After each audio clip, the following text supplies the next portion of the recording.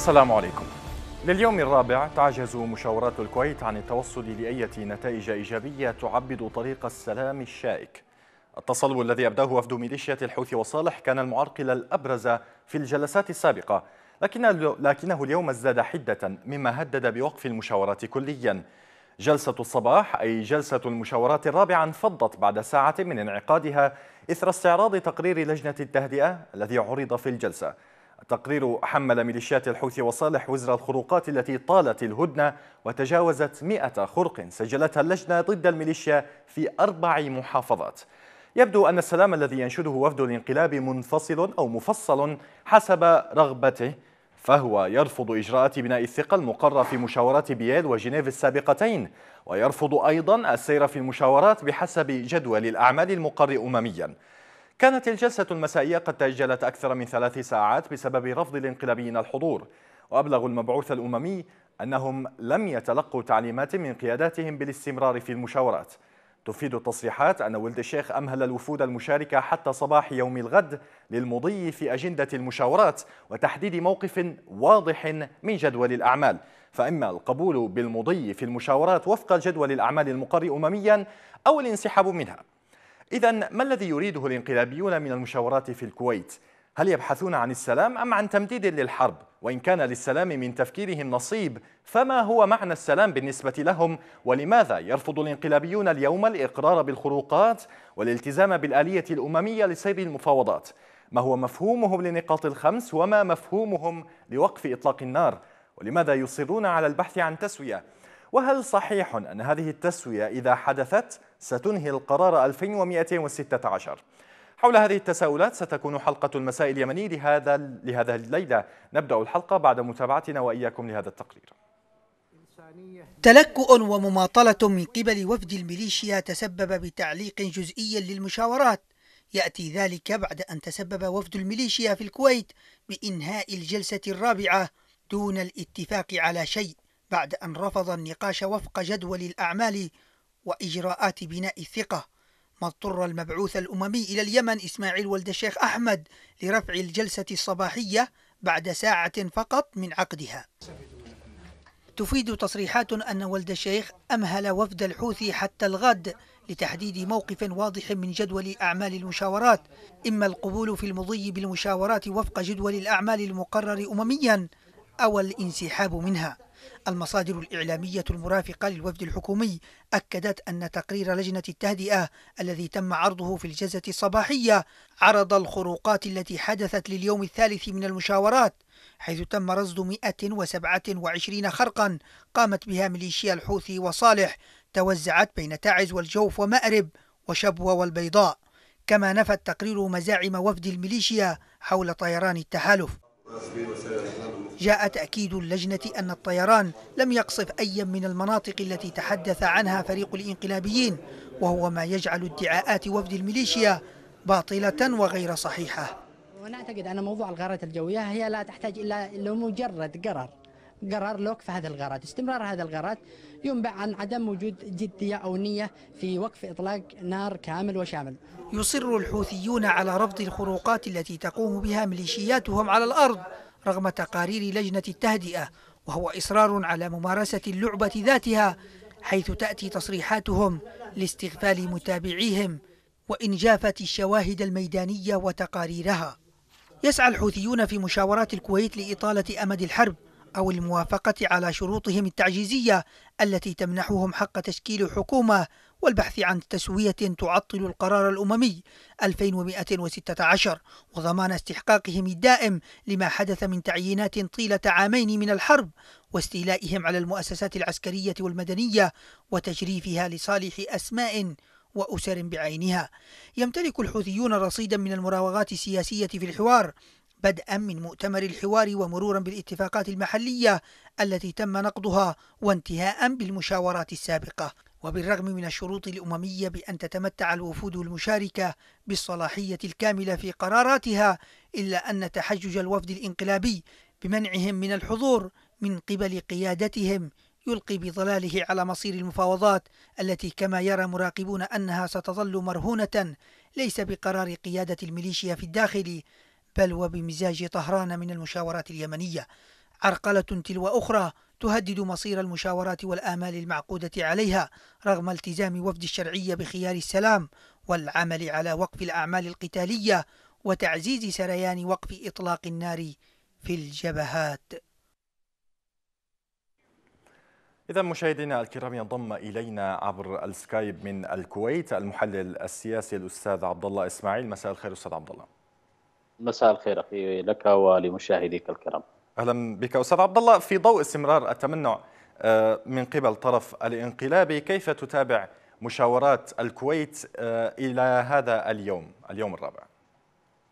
يعني آه، كما تفضلت يعني يبدو أن يعني وفد الانقلابيين أتى للكويت للامتناع الامتناع عن تنفيذ ما تم الاتفاق عليه في بييل من إجراءات بناء الثقة وهذه اتفاقات كانت بحضور وب يعني وبمباركة وبالتزام منهم للأمم المتحدة. امتنعوا أيضا عن مناقشة جدول الأعمال آه، في القضايا الهامة والقضايا الأساسية. آه، امتنعوا أيضا اليوم عن شيء خطير ولافت وهو أن كان هنالك مقترح أن يتم إصدار بيان لمساندة القوات اليمنية في محاربة القاعدة والإرهاب.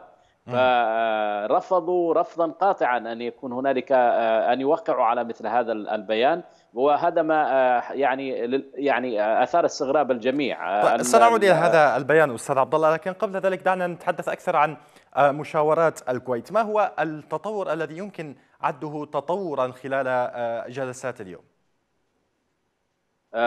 من النواحي الإيجابية أو التحرك في في اتجاه حلحلة الأمور ليس هنالك أي تطور على الإطلاق ويمكن أن نقول أنه النجاح الوحيد لهذه المشاورات هي أنها استمرت أو أنها يمكن أن تستمر يوما اضافيا لكنها يمكن أن تعلن فشلها في أي لحظة.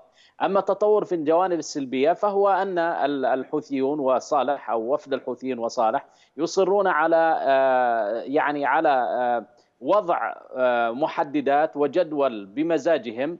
هذا الجدول يتضمن أمرين هامين بالنسبة لهم هم أتوا به يحملونه من صنعاء. وهو وقف التحليق الطيران بما يعني استفادتهم الكلية من من الخرو من من الهدنة وتحركاتهم كما يريدون، والأمر الآخر أن يتجاوزوا القرار الاممي 2216 والقضايا المطروحة والخمس النقاط لينتقلوا إلى مرحلة البحث في الانتقال السياسي آه، قبل أن تمهد يمهد الملعب كما هو واضح في كل المقررات آه، آه، مقررات المجتمع الدولي للوصول إلى طيب هذا هذه في, في نقطة فيما يخص هذه موضوع نعم. فيما يخص موضوع وقف تحليق الطيران هل يطلبون يعني بهذه الجملة فقط وقف تحليق الطيران بدون أي مطالب أخرى؟ يعني تشمل مثلا وقف إطلاق النار أو تثبيت الهدنة أو بمسمى آخر خارج هذه الكلمات؟ هم واضحون جدا. يعني م. هم يطالبون بتوقف العمليات العسكرية وخاصة تحليق الطيران. مع أنه هم يقولون أن هنالك ضربات طيران. اليوم الوفد الشرعي قدم 124 خرقا من الخروقات التي مارسها الحوثيون بالأمس. 124 خرقا في تعز وفي البيضاء وفي مأرب وفي غيرها من المناطق. وليس هنالك أي ضربات جوية على الإطلاق. لكن تحليق الطيران هو لمراقبة التزام الجميع بالهدنة. وبالتالي هذا أعتقد أنه عنوان عريض وهدف كبير بالنسبة لهم. هم يريدون أن يصلوا إلى هذه النقطة حتى لو انهدمت المشاورات حتى لو فشلت المشاورات. ليس لديهم إلا هذين الهدفين كما ذكرنا موضوع الانتقال بحث الانتقال السياسي وموضوع آه، آه، يعني تحييد الطيران. لأن والأهداف واضحة يعني الأهداف واضحة آه، طيب لا يعني لا نزال يعني لا تزال المشاورات أستاذ عبد الله تراوح مكانها من ناحية أنها لا لا تزال تبحث أجندة هذه المشاورات ولا تخوض فيها أساسا.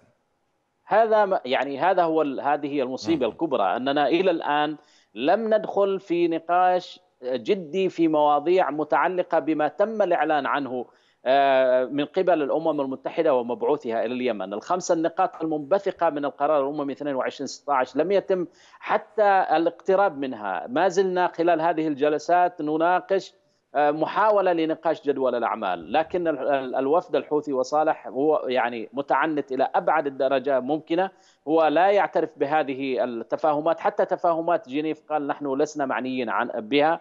هنالك حتى تصريحات خطيرة جدا فيما يخص القرار الدولي القرارات الدولية. يعني هنالك تصريح لمحمد عبد السلام منسوب إليه يقول أن القرارات الدولية لا تعنينا وبالتالي نحن أمام أمام يعني وفد لا يملك القرار على الإطلاق. طيب أين قال هذا الكلام أستاذ عبد الله في جلسة المباحثات؟ بل كتب كتب كتب في في صفحته ثم بعد ذلك ألغاها. وهنالك أيضا من الإعلاميين من نقل عنه هذا هذا الأمر. نعم. وأعتقد ان أن هنالك اليوم استياء كبير من قبل الأمم المتحدة وحتى من قبل الطاقم كنت أسألك على هذه النقطة أستاذ عبد الله ما هو موقف المبعوث الأممي في ظل هذه آه، الاشتراطات أو التمنعات التي يقدمها وفد الانقلاب في اليوم الرابع من جلسات آه، المشاورات في الكويت؟ في الجلسة المسائية ما خرج عن الجلسة أو يعني ما تسرب عن الجلسة المسائية اليوم أن آه، آه، الأمم المتحدة ومبعوثها إلى اليمن آه، يعني أعطى مهلة لوفد الانقلابيين إلى غد إلى جلسة الغد لتوقيع على جدول المباحثات. الرجل تعرض لأكثر من من إساءة من قبلهم ونحن نتذكر أو نعني نعلم الإساءة التي صدرت من إحدى عضوات الوفد الانقلابي آه، هنالك استياء أيضا من موضوع القاعدة والحرب على القاعدة هنالك يعني كثير من يعني أداء المج... أداء الحكومة والوفد الشرعي أداء منضبط أداء دولة ليس من انفعاليا وهو يحاول أن يعطي فرصة. لهذه المشاورات أن تنجح لكن في المقابل هؤلاء جاءوا بأجندات لم يأتوا أيضا ب بموضوع أن لديهم قدرة على اتخاذ القرار في داخل الجلسات وهذا ما يؤخر أيضا التوصل إلى اتفاق، كان هنالك اليوم المفترض أن تعقد الجلسة الساعة الرابعة فطلبوا أن تكون الساعة السابعة لأنهم يريدون أن يشاوروا قياداتهم. الوفد الشرعي جاء ولديه كامل الصلاحيات في إطار آه، يعني التشاور في إطار تنفيذ مقررات المجتمع الدولي. طيب تحديدا في هذه النقطة هل تلاحظ يعني آه، من ناحية الانضباط والدقة والقدرة على التفاوض والحديث في كلا الوفدين إلى من تنسبهم أو إلى من ترجح هذه الكفة في هذه المفاوضات إلى الآن؟ يعني دون دون يعني دون محاباة، القضية هنا آه، تخضع لكل الشواهد التي حدثت منذ آه، إعلان اولا المبعوث الأممي للمشاورات في الكويت وترحيب الحكومة الشرعية بذلك وترحيب التحالف بهذا الأمر ثم بعد ذلك الترتيبات التي حدثت وصول الوفد إلى هنا قبل موعد المشاورة بيوم ثم الصبر الكبير الذي حدث لانتظار الإنقلابيين للوصول ثم بعد ذلك رغبة الحكومة الشرعية في التعامل والتعاون مع الأمم المتحدة فيما يخص الإجراءات والتكتيكات والنواحي الفنية لتنفيذ النقاط الخمس. هنالك كثير من المرونة في هذا الاتجاه، التشدد الوحيد الذي آه، هو من الحكومة الشرعية هو فقط في موضوع أن هنالك قضايا أساسية لا يمكن أن يتم الحل إلا على أساسها، موضوع عودة الدولة وموضوع عودة الشرعية وتسليم الأسلحة والانسحاب من المدن، ثم الأهم أيضا ما حدث من ترتيبات وموافقات واتفاقات في بييل،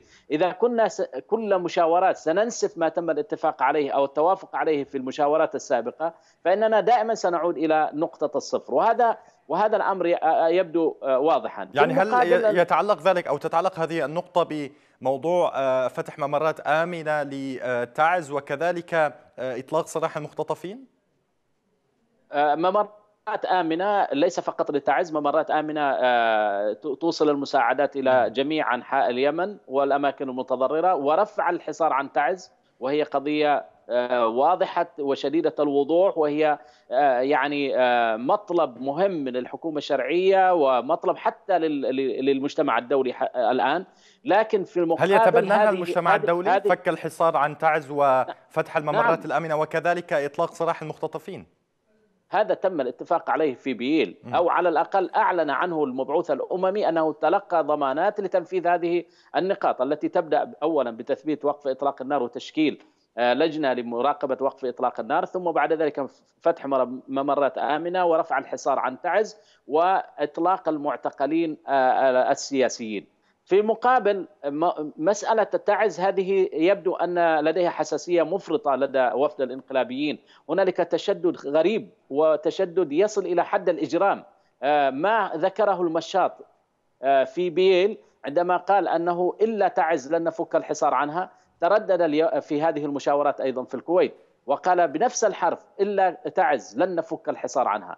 في موضوع المختطفين أيضا التشدد الذي حصل في بييل إلى درجة أنهم امتنعوا عن إعطاء معلومات هل هؤلاء أحياء أم أموات ظروفهم حتى لمنظمة الصليب الأحمر تكرر هنا وهم يرفضون موضوع تبادل أو إطلاق المختطفين السياسيين لكنهم في ذات الوقت في ذات الوقت يطلقون ويتبادلون المعتقلين مع القاعدة. أطلقت خلال الأيام الماضية أعداد من من قيادات القاعدة التي كانت قبضت عليهم قبض عليهم الحوثيين. وبالتالي هذا التشدد مستغرب طبعا. وكأنها هي أوراق يحاولون يعني تعز والمختطفين هي أوراق أوراق آه آه سيلعب عليها الحوثيون والإنقلابيون بشكل غير عام أخلاقية في ما غير سيتقدم. أخلاقية.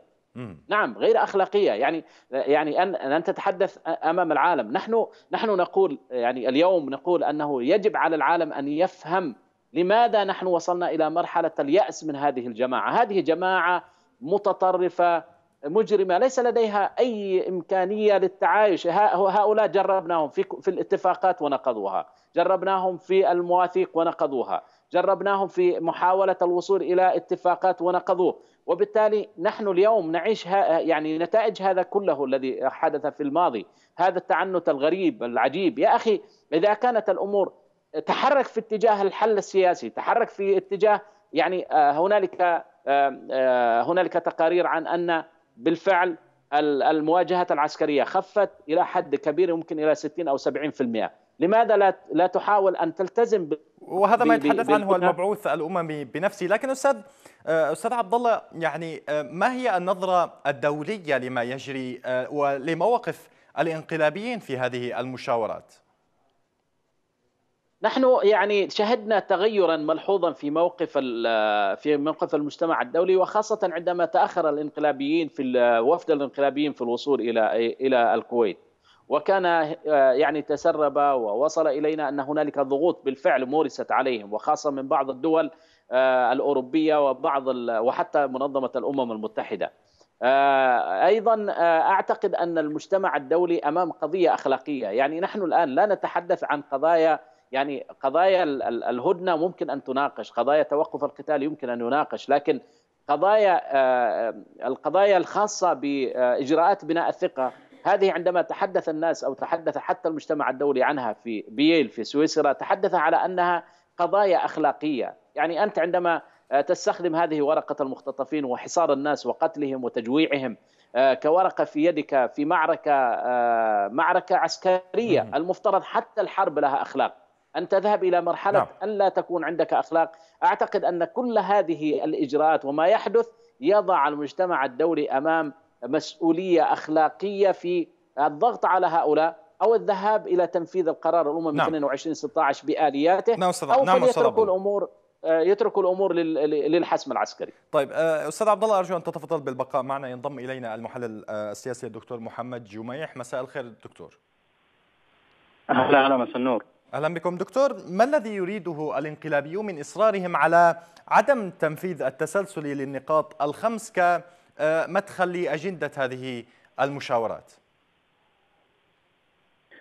طبعا واضح فيما يبدو ما يريد الانقلابيون وما يخططون له. يريدون يعني وضع العرب أمام الحصان إنجاز التعبير. يريدون البدء ب إجراءات سياسية معينة والانطلاق من ما انتهى إليه حسب قولهم حوار موزمبيق الثاني يعني الذي كان عندما كان الرئيس تحت الإقامة الجبرية وكانوا يتفاوضون على أساس مجلس رئاسي وما إلى ذلك. هم يريدون تشكيل حكومة انتقالية هذه الحكومة الانتقالية يكونون هم فاعلين فيها مع الأطراف الأخرى المتحالفة معهم وتكون الشرعية جزءا من هذه الحكومة ولو جزءا يسيرا غير قادر على التحكم بمسارات الحكومة.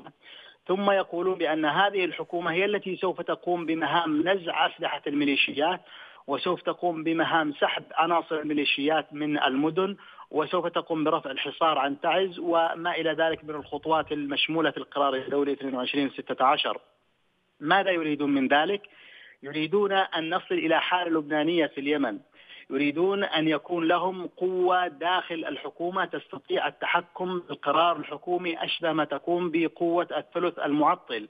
لو تذكر عندما اشترط حزب الله اللبناني آه، أن يكون له حق الاعتراض على القرارات التي تتخذها الحكومة إذا رأى حسن نصر الله أنه أو أنها تتعارض مع مصالحه أو مصالح حزبه التي هي بالطبع مصالح الإيرانيين.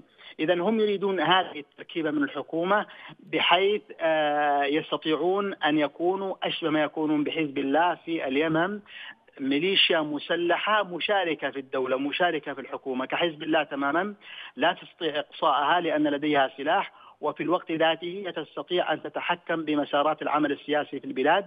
ومن يستطيع أن ينزع أسلحة الميليشيات الحوثية إذا ما أصبحوا هم آه، سلطة وجزءا لا يتجزأ أو جزءا طيب، فاعلا طيب. من هذه نعم. الحكومة آه، دكتور لكن يعني هناك كان إفراغ القرار الدولي المضمونة يعني كان هناك حديث على أن آه، الميليشيات كانت تريد تجاوز التجربة اللبنانية والآن على ما يعني في الحديث عن الثلث المعطل ووجود سلاح بيدها هي تحتكره بخلاف بقية الأطراف السياسية وخلاف الدولة التي يجب أن تحتكر هذا السلاح. لكن إذا ما تحدثنا عن أن آه، نقطة تسليم السلاح للدولة أو لمؤسسات الدولة تمثل آه، نقطة ذات آه، جدل كبير بالنسبة للإنقلابيين. يعني هل يحاول الإنقلابيون تأجيل معارك أخرى بعيدا عن ما تم إلى الآن من عاصفة حزم وإعادة أمل من خلال هذه المشاورات السياسية؟ هذا بالطبع. طبعا هم عندما يشترطون يعني عندما يشترطون تقديم الحوار السياسي وهي النقطة الخامسة في النقاط التي عرضها ولد الشيخ في التسلسل. آخر نقطة يجعلونها هي هي النقطة الأولى. هم يريدون ترحيل بقية القضايا. إلى أن تأتي هذه الحكومة التي يتحكمون بها وبالتالي لا تنزع أسلحتهم. فيحتفظون بهذه الأسلحة لجولة قادمة. هذا هو هذا هو المخطط. طبعا هم يخطط لهم وهناك خبراء إيرانيون لماذا ذهبوا إلى مسقط في طريقهم إلى الكويت؟ ليس لقاء ليلتئم بقية الفريق ببعضه كان بالإمكان أن يلتقوا في الكويت لكنهم ذهبوا من صنعاء إلى مسقط مع أن الطائرة كان يمكن أن تذهب به مباشرة إلى الكويت، ذهبوا إلى مسقط من أجل لقاء الخبراء الإيرانيين هناك من أجل التزود بالخبرات الفنية في أداء في في آلية الحوار وأدائهم السياسي في الحوار. هذه الجماعة الذي يعرف تكوينها العقدي وتكوينها الأيديولوجي والفكري يعرف أنها لن تتخلى عن السلاح لعدة أسباب. السبب الأول والرئيس هو أن السلاح هو الذي ضمن لها هذه المكاسب التي تحصلت عليها، وبالتالي بحساب طبيعي وبسيط لا يمكن أن يفرطوا بما آل بما أعطاهم هذه المآلات كلها أو هذه الإنجازات كلها. السبب الثاني الذي يجعلهم يتمسكون بالسلاح أنهم يعرفون حجمهم السياسي أصلا وحجمهم السياسي آه، قبل أن حتى تتشكل جماعة الحوثي كان لديهم في التيار الذي يمثلهم آه، عضوان في مجلس البرلمان فقط في مجلس النواب. آه، هما حسين الحوثي وعبد الله الرزامي. الآن يعرفون الحجم السياسي يعرفون الحجم الشعبي وبالتالي لا يمكن حسب تصورهم أن يصلوا إلى سلطة حقيقية لهم عن طريق صناديق الانتخابات والاقتراع. اذا الذي يؤهلهم للتمسك بالسلطة أو الوصول إليها هو السلاح وليس يعني هم يريدون العودة إلى مرحلة ما قبل آه، آه، اتفاقية السلم والشراكة وتقديم ما التسوية السياسية القادمة من وجهة نظرهم تحت ووجود نفوذ لهم تحت مسمى الشراكة. هذا بالطبع ما يريدون. هم وصرحوا بأنهم يريدون استكمال الحوار الوطني من المرحلة التي انتهى إليها في موزمبيق وليس الحوار الوطني الذي أنهيناه في 2000 وفي يناير 2014 والذي خرج بوثيقه الحوار وإنما الحوار الذي كان يجري كما قلت أثناء ما كان الرئيس تحت الإقامة الجبرية. هذا الحوار الذي آه، ينطلق ويتأسس على أساس اتفاق السلم والشراكة الذي وقع بسنة الرماح إنجاز التعبير أو تحت السلاح. وبالتالي إذا كان هذا هو هذه هي الرؤية وهذا هو التوجه فهذا لا يعني أكثر من أن الدور العميقة تعيد إنتاج نفسها بشكل حوثي أو بشكل مختلط مع الحوثي وصالح لكن بالمحصلة النهائية لا يمكن ابدا أن أن يسار إلى تسوية سياسية حقيقية إلى حلول جذرية ناجعة ما لم تكن تكون ما لم تكن يعني ضمانات لربما هذا ما يريده الحوثيون لكن الميليشيات. نعم لربما هذا ما يريده الحوثيون بتقديم اتفاقية السلم والشراكة كمرجعية لكن بالأخير هذا هذه المشاورات لم تأتي تحت هذه تحت هذا الإطار كمرجعية لكن برأيك دكتور كيف يمكن الخروج من مأزق تقاسم الدائم للمناصب السيادية في ظل وجود الطرف المنقلب كطرف ند في هذه المشاورات؟ طبعا هو إذا أخذنا بالقرار الدولي وتطبيقه حرفيا فالقرار الدولي لا يعترف بالانقلابيين هم ليسوا سلطة ولا يعني الأطراف الموجودة في الداخل هي طرفان أحد الطرفين رئيس سابق ليس له سلطة رسمية وليس له سلطة شرعية وأصبح رئيسا سابقا. مواطن يمني مواطن له حقوقه كما كما يريد لكن ليس له حقوق سياسية في السلطة الآن. وأيضا الطرف الآخر هو طرف ميليشياوي ليس حتى حزبا ليس حتى حزبا سياسيا. وبالتالي الأطراف الداخلية المجتمع الدولي حسب القرار الدولي يرى أنها ليست لديها مشروعية.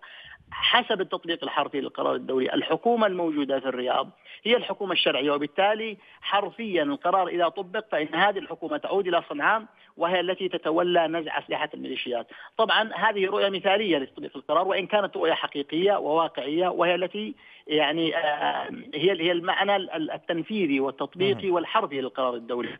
لكن الحوثيون حتى لو تم اقتراح قوة عربية محايدة لاستلام الأسلحة فإنهم سيرفضون. حتى لو تم اقتراح قوة مختلطة من الجيش اليمني الحالي الجيش الوطني ومن فيلق أو قوات الحرس الجمهوري الموجودة وبعض القوات الخاصة التي لا تزال في يد الرئيس السابق. لو شكلت قوة مشتركة من هاتين القوتين فإن الحوثيين لن يسلموا. أنا في 2010 عندما وافق الحوثيون على الشروط الستة حينها للحكومة ومنها البند الأول تقريبا نزع أسلحتهم الثقيلة وتسليم سلاح الدولة للدولة والبند الآخر يختص بالانسحاب من مديريات محافظة صعدة ومديرية حرب سفيان وعدم تدخل في شؤون الدولة وإدارتها وما إلى ذلك. شبيهة النقاط الست بما ورد في القرار الدولي. عندما وقفت العمليات العسكرية شكلت لجنة لنزع الأسلحة ونزع الألغام. اتصلت برئيس هذه اللجنة في حينها نعم دكتور. أو عضو بارز بها وشيخ عثمان مجلي وسألته ما مدى التزام الحوثيين بذلك فقال على مستوى الألغام ننزع الألغام من الأرض ثم يأخذها الحوثيون ويضعونها في أكياسها ثم يرحلون بها إلى إلى وكان واضحا ما حدث إلى من, من تلك يعني. الفترة إلى هذه الفترة دكتور أشكرك جزيل الشكر الدكتور محمد جميح المحلل السياسي كنت معنا عبر الهاتف من لندن. وقبل أن أذهب إلى الاستاذ عبد الله إسماعيل مشاهدينا الكرام نذهب إلى هذا الفاصل القصير. بعده نستأنف حلقتنا ابقوا أهلا بكم من جديد مشاهدينا الكرام. أعود إلى ضيفي المحلل السياسي الأستاذ عبد الله إسماعيل عبر سكايب من الكويت. أستاذ عبد الله إذا ما تحدثنا أكثر حول النقطة التي ندد فيها الحوثيون بالعملية العسكرية التي تقوم أو القائمة على القاعدة في حضرموت والمناطق الجنوبية بشكل عام والقراءة الكثيرة لكثير من الإعلاميين التابعين لهم باعتبار هذا أو هذه العملية عدوانا لليمن على اليمن كيف تقرأ ذلك؟ يعني أنا في تصوري أن هذا يعني يعكس مدى كذب هذه الجماعة مدى ابتزازها للناس مدى خداعها المتواصل. هم يعني نحن نعلم أنهم حاربوا اليمنيين جميعا بتهمة أنها القاعدة. وداعش. وطبلوا منذ يعني هزيمتهم النكراء في عدن وفي تعز وفي مناطق أخرى وفي مأرب.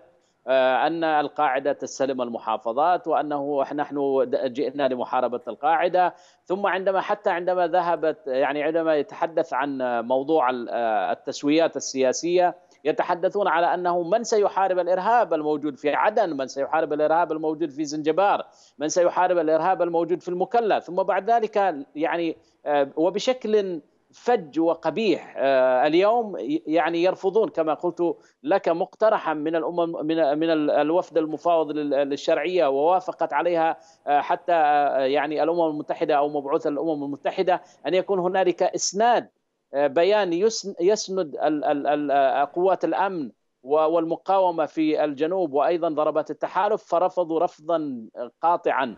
هذا يدل أيضا دلالة أخرى أن هذه القاعدة كما قلنا دائما هذه الميليشيات هي مرتبطة بصنعاء ومران. هذه الميليشيات الموجودة في المكلا وفي الزنجبار وفي عدن لا تخدم إلا الميليشيات الموجودة في صنعاء وفي وفي صعدة. وأنه إذا ما ضربت الأذناب فبالتأكيد الرأس سيتألم. وهذا ما حصل تماما. هذا ال هذا ال هذه الفضيحة الكبرى التي يعيشها الحوثيون خلال ال 24 ساعة الماضية.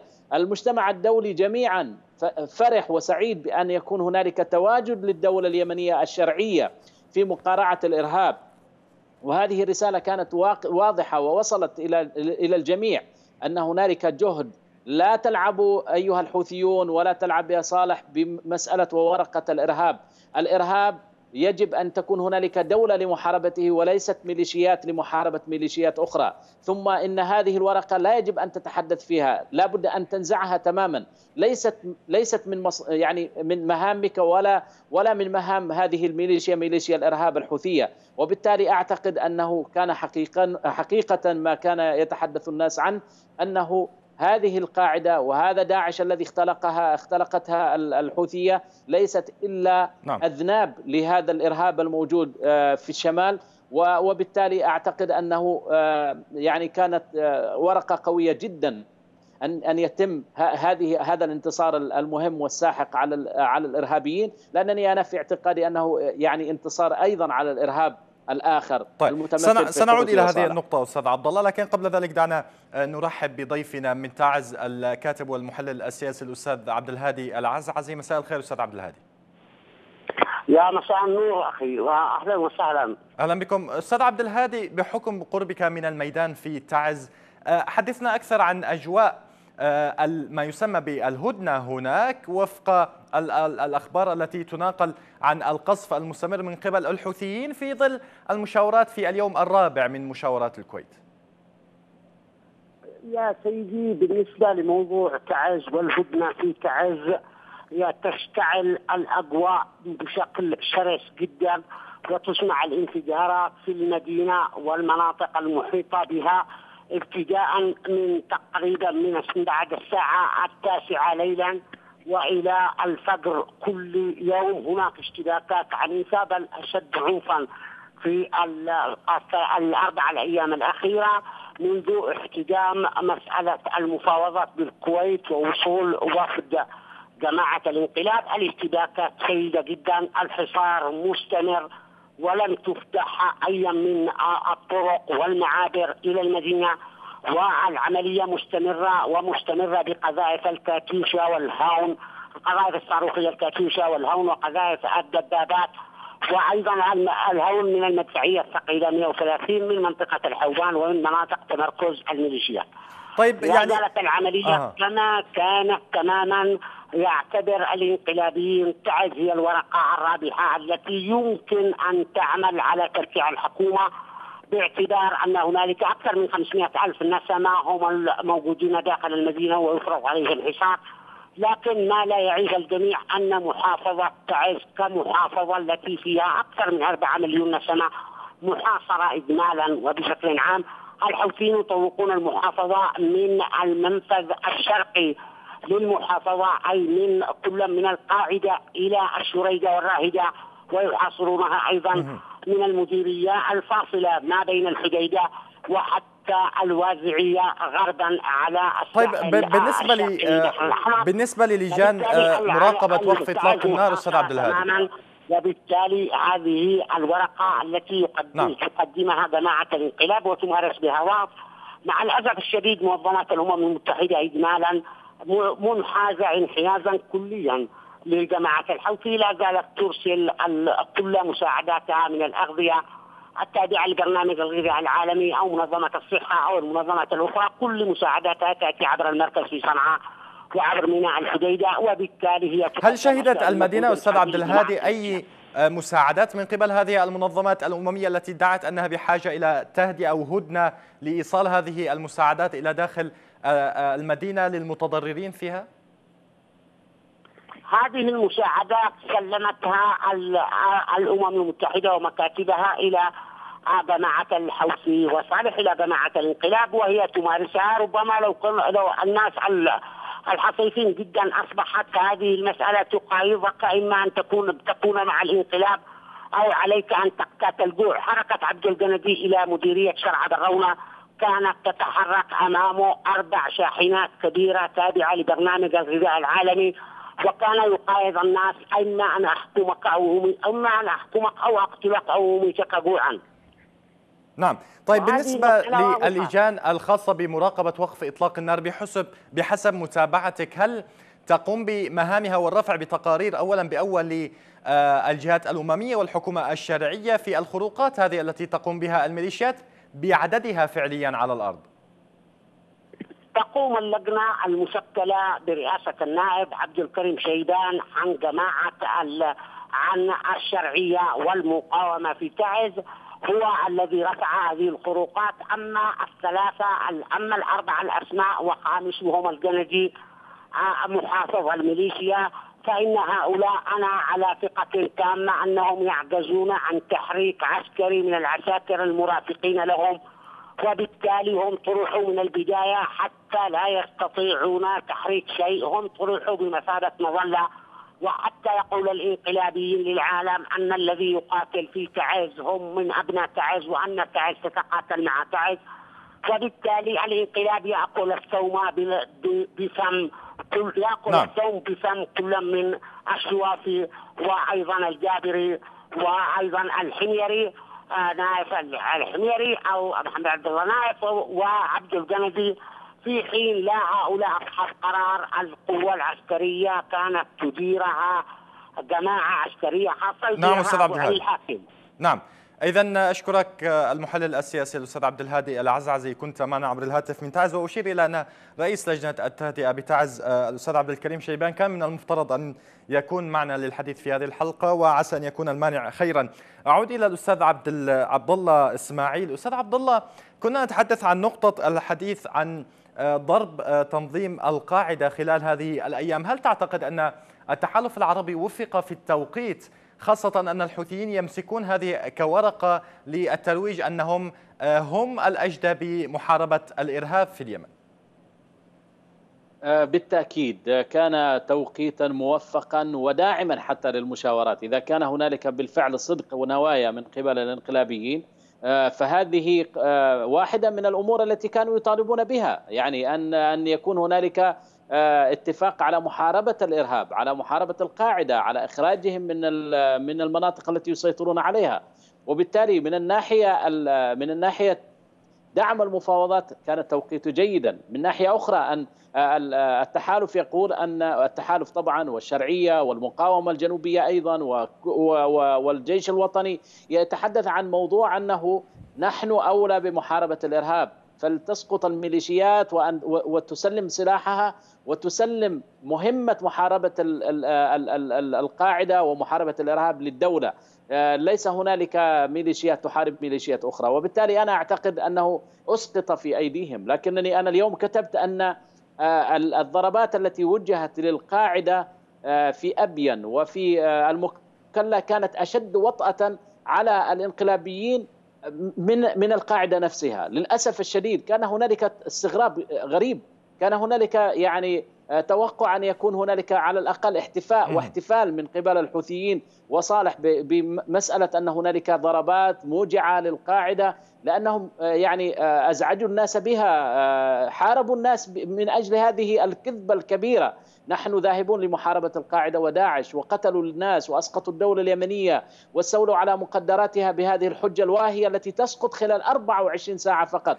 وبالتالي أنا في تصوري أن هذه الضربات أسقطت كثيرا من حججهم عرتهم من أكثر من هناك من الأوراق أستاذ عبد الله من الأوراق التي يلعب عليها الحوثيون أو الإنقلابيون بشكل عام آه، بحسب المتابعين ورقة التعيينات التي تقوم بها في أجهزة الدولة منذ عامين منذ عامين تقريبا.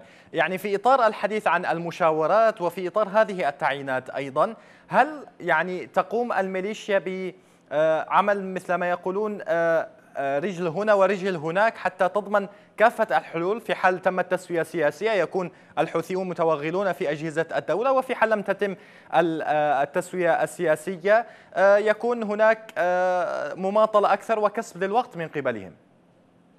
بالتأكيد. لكن هنالك ملاحظة. نحن ليس لا نسعى إلى تسوية سياسية. نحن نسعى إلى حل إلى حل آه، جذري للقضية والأسباب التي أدت أن تكون آه، مثل هذه الجماعة المتطرفة تتحالف مع الفساد وتسقط الدولة اليمنية وهو نتيجة للتسويات السابقة التي لم تخرج اليمن من دوائر العنف حتى الآن. وبالتالي نحن نبحث عن حل.